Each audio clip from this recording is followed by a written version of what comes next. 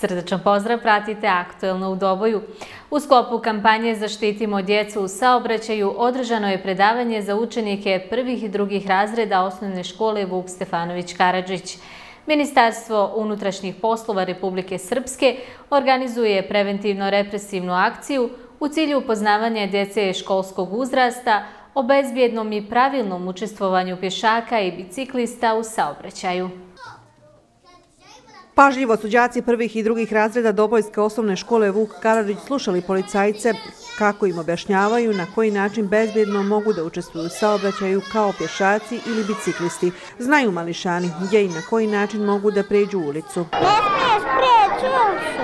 Naprimjer, ako nema pješačkog prelaza, onda moraš pogledat lijevo desno.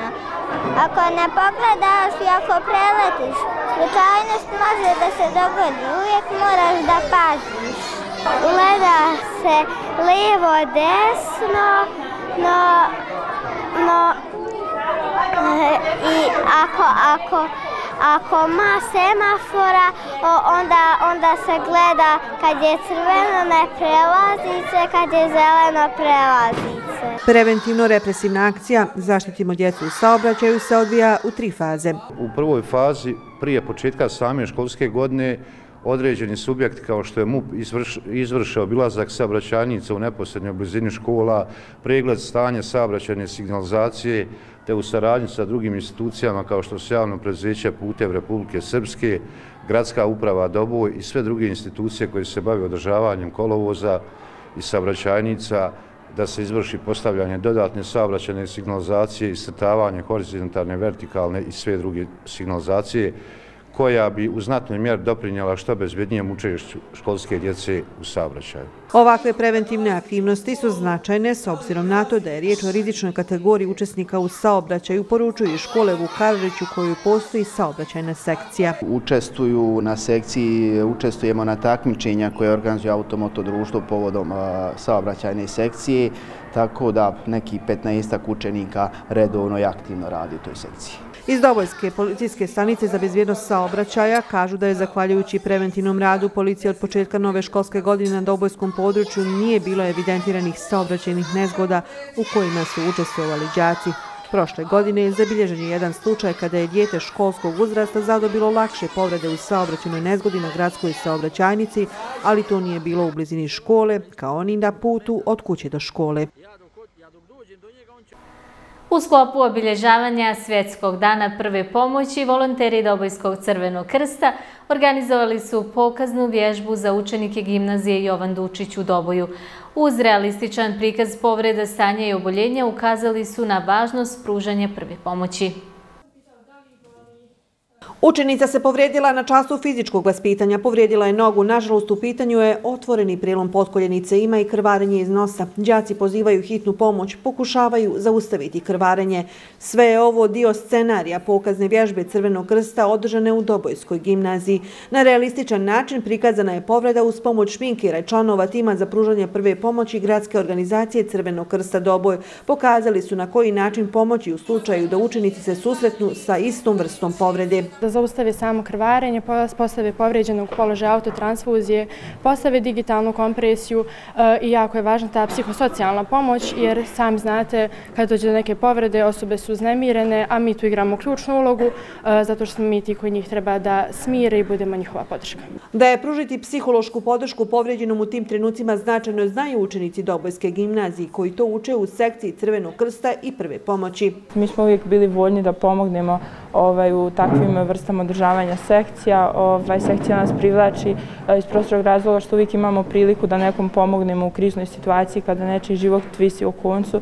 Ovaj, to je veliko, e, složit ćete se zadovoljstvo. Na toj sekciji učenici stiču osnovna znanja e, koja su im potrebna za pružanje pomoći u slučaju nesreće.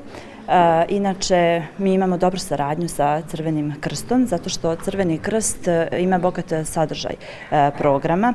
Naši učenici svake godine učestvuju kao dobrovoljni davaoci krvi i u obilježavanju nedjelje borbe protiv tuberkuloze. Iz godine u godinu raste broj članova ove sekcije u gimnaziji. Trenutno sekcija Crvenog krsta i prve pomoći broji više od 20 članova. Naši džaci u velikom broju se nakon završetka gimnazije upravo i opredjeljuju da studiraju medicinu, znači da se bave jednom vrlo humanom naukom, možda i najhumanijom, a to je upravo da pružamo podršku i pomoć ljudima u potrebi. Dobojski crveni krst organizuje pokazne vježbe i u srednjim i u osnovnim školama sa ciljem da džake upoznaju se načinima i značajom blagovremene pružene prve pomoći povrijeđenima. Ovakve vježbe i provođenje određenih e, predavanja, diseminacije o samom pokretu crvenog krsta nastojimo animirati e, sve učenike e, kako u osnovnim, tako i u srednjim školama kako bi već sutra postali dio sekcije prve pomoći u svojoj školi, dio sekcije Crvenog krsta, ali i volonteri gradske organizacije Crvenog krsta u Doboju. Pokazna vježba za učenike gimnazije Jovan Dučić u Doboju organizovana je povodom 14. septembra, svjetskog dana prve pomoći. Pored pokazne vježbe, razgovarali su o opoznavanju pokreta Crvenog krsta kao i o aktivnostima koje sprovode sa volonterima, a sve u cilju masovljenja članstva i volontera.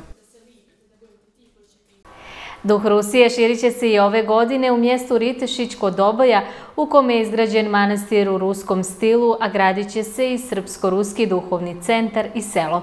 U subotu 21. septembra sa početkom od 10 časova po 15. put Udruženje Srpsko-ruskog prijateljstva i jedinstva pravoslavnih naroda biće domaći manifestacije Dani Meda Rakije i Kotlića ove godine, ako Bog da, doće nam izlagači iz Slovenije, doće iz Crne Gore i Srbije, osim naših izlagača.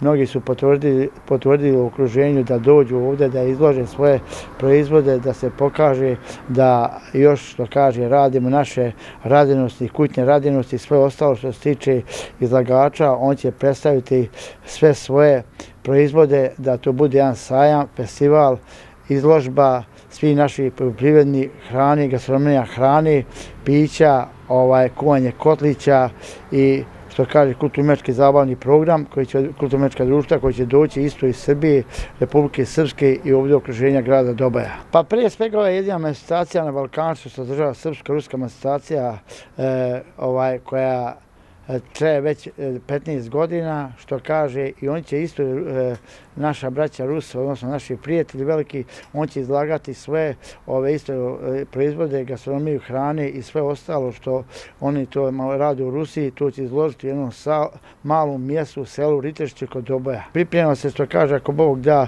iduće godine za veliku jednu ovaj, veliki jedan program koji imamo da tu, paz, tamo je e, e, zamisleno došlo da se uradi osim manastra Svete Matrone, tamo je treba praviti e, srpsko-ruski centar gdje će biti Ruski vojni muzej, treba biti etno selo, ali nadamo se da ćemo idući godine, ako Bog da i postaviti temelj e, kamenja za izgradnje prvi ruski banjske bolnice na ovom regionu, odnosno grada Dobaje Republike Srpske. Bilo bi to sve za današnje izdanje emisije Aktualno u Doboju. Hvala vam za pažnju i ugodan ostatak dana uz radio televiziju Doboj.